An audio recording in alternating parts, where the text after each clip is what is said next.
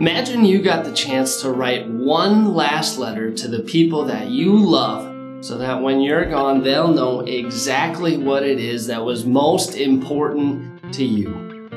This week, we start a new sermon series looking at the Apostle Paul's last letter to Timothy. And what's the one thing that he just had to pass on to Timothy? Paul says, This is my gospel.